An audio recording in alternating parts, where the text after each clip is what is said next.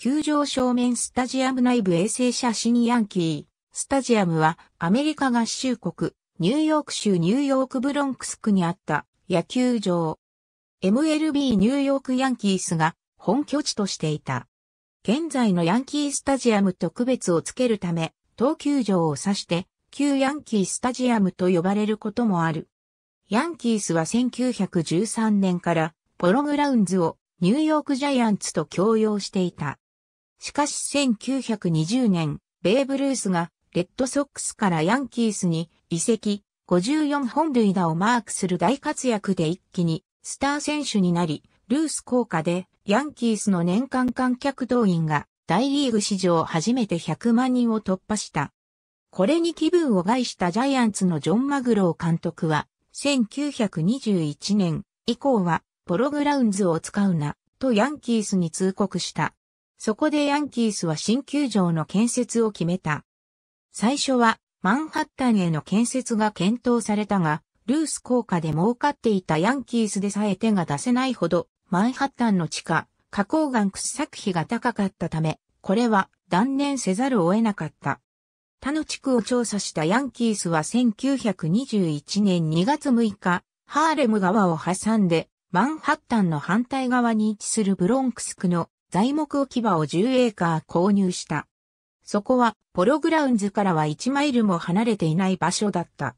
新球場は、わずか230日で建設され1923年4月18日、ボストンレッドソックス戦で開場。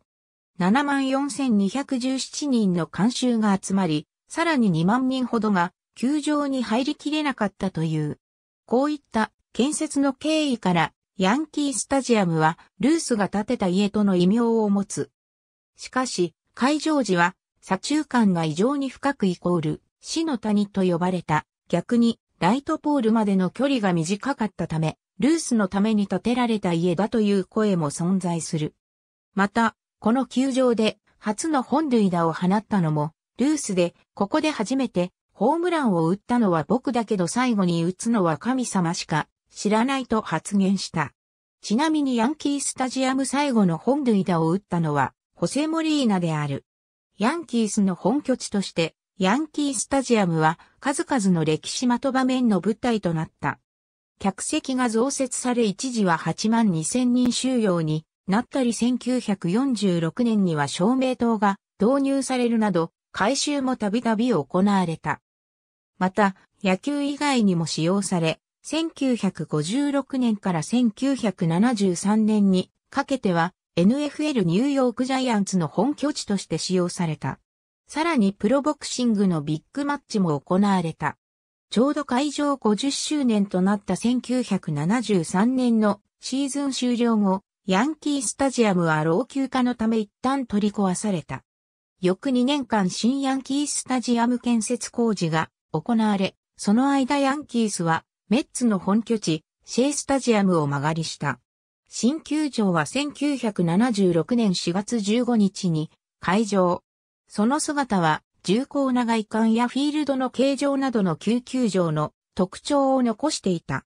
ルースが建てた家をもじり、スタインブレナーが建て直した家とも呼ばれた新球場で、ヤンキースは1976年からアメリカンリーグを3連覇。1977.1978年にはワールドシリーズも制した。1980年代に入るとヤンキースは長い低迷期に入った。当時の球場周辺の治安は悪化の一途をたどり、当時ほどではないが現在でもブロンクス区は治安の悪い地域である。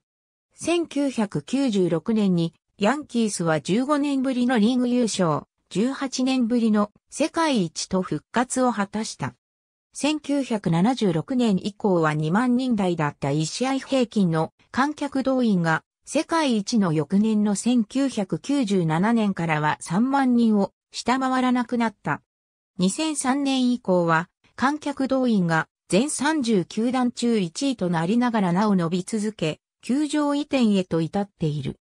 2009年には新ヤンキースタジアムが完成し、それに伴い従来のヤンキースタジアムは2008年のシーズンをもって閉鎖されることとなった。救急場最終年となる2008年には、MLB オールスターゲームが7月15日に開催された。試合は救急場との別れを惜しむかのように延長15回まで長引き、オールスターゲーム史上最長の4時間50分にわたって熱戦が繰り広げられた。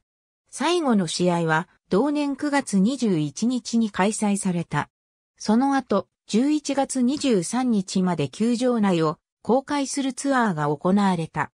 ただし、モニュメントパークの部分の公開は11月9日で終わり、11月12日から新球場への移設工事が行われた。2009年3月から解体撤去工事が開始された。跡地にはヘリテージフィールドという10エーカーの公園が整備されている。1923年のオープニングデーの国旗形用ヤンキースタジアムは伝統的に左打者有利、右打者不利と言われてきた。これは、海上時、左中間が500フィートもあった一方、宇宙間は、スタンド裏に、ニューヨーク市地下鉄の高架線がある関係で429フィートしか、なく294.75フィートの右翼、ポール際にかけての狭いエリアで、ホームランの出ることが多かったためである。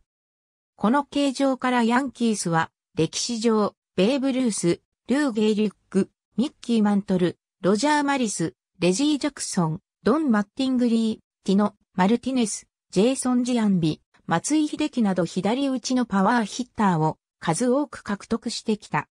しかしフィールドの広さは年々変更されていき、閉鎖時には左右両翼ともに会場当時より随分狭くなっていた。特に1976年の改築でフィールド面積は大幅に縮小された。左中間は現在でも399フィートと大リーグ屈指の広さを誇るが、1988年のモニュメントパーク設置により、センターよりも左中間が深いという特徴的な形状は解消され、常識的な範囲内での変形球場となっていた。内野の芝は長めにカットされていた。このため打球の勢いが死にやすいので、内野手には強肩が要求された。ファウルグラウンドは狭く、邪秘によるアウトが少なくなるので、打者に有利に働いた。単位は、フィート、1フィート30.48センチヤンキースタジアムで、最も本塁打を打ったのは、ミッキー・マントルの266本、次いで、ベーブ・ルースが259本、ルー・ゲイリックの251本であるヤンキースのヤンキースタジアム史上観客最小記録は1966年9月22日の対シカゴホワイトソックス戦の413人で1対4でヤンキースが敗れている現職のアメリカ大統領がヤンキースタジアムで始球式を行ったのは2度で最初は1956年のドワイト・ディ・アイゼンハワーで二度目は2001年10月30日に行われたアリゾナダイヤモンドバックスとのワールドシリーズでジョージ・ W・ ブッシュ。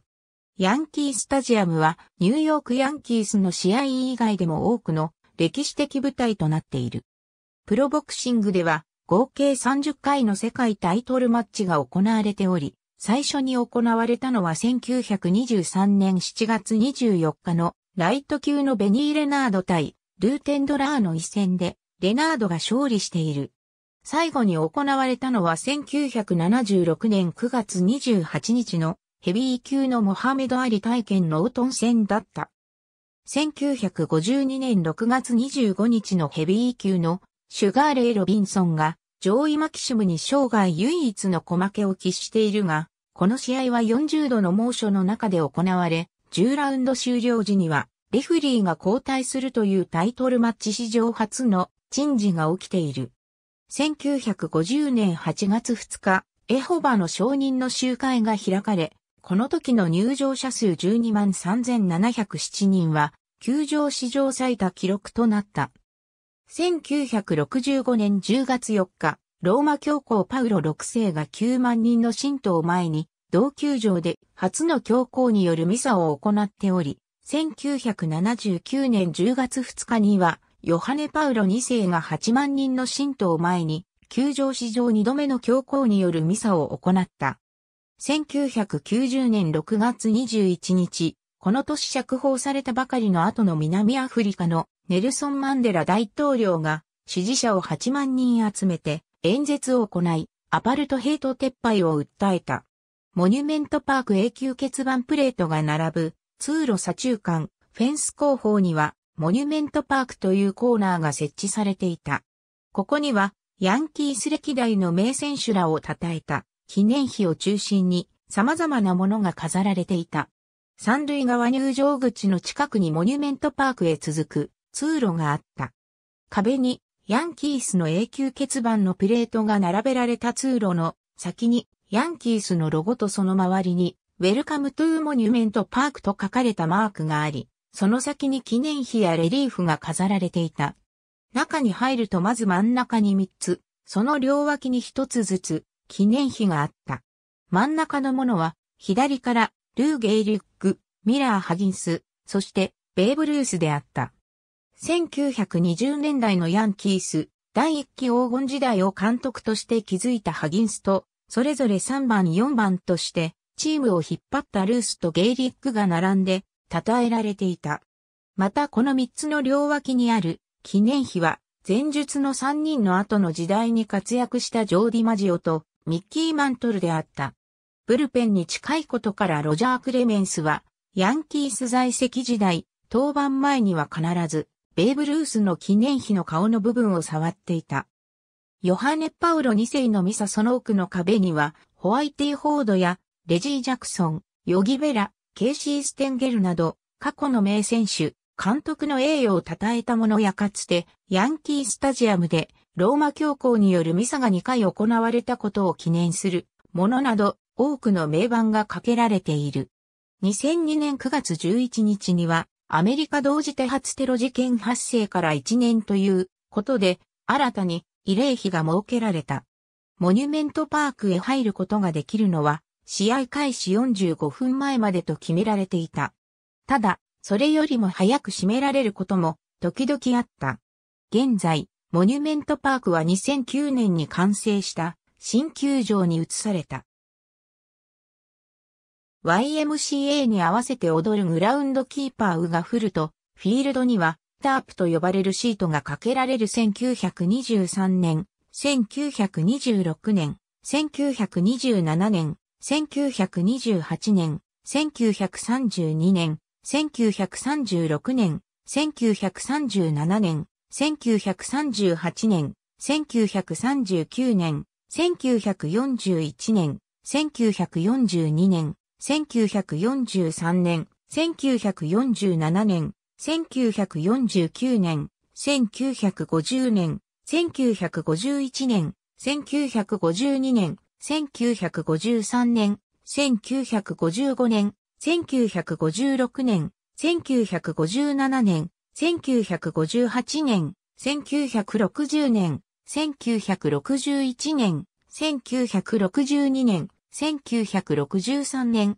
1964年、1976年、1977年、1978年、1981年、1996年、1998年、1999年、2000年、2001年、2003年、AB 宇佐美明、大リーグと都市の物語平凡社、平凡社新書、ISBN 45億8285万766、2001年、54から57ページ。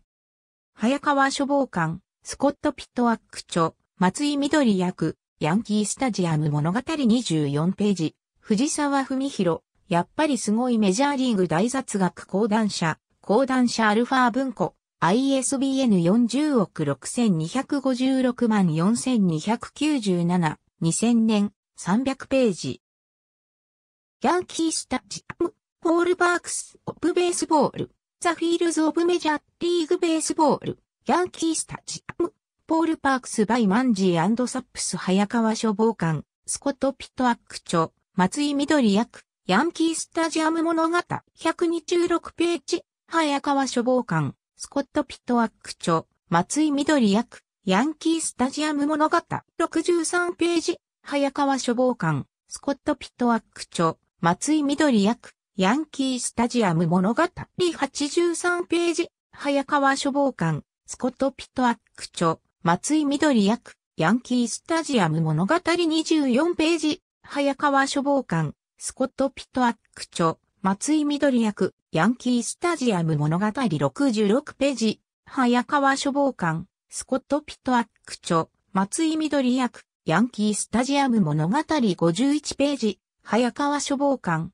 スコット・ピットアック著、松井緑役、ヤンキースタジアム物語30、48ページ、早川処方官、スコット・ピットアック著、松井緑役、ヤンキースタジアム物語70ページ、早川処方官、スコット・ピットアック著、松井緑役、ヤンキースタジアム物語72ページ。ありがとうございます。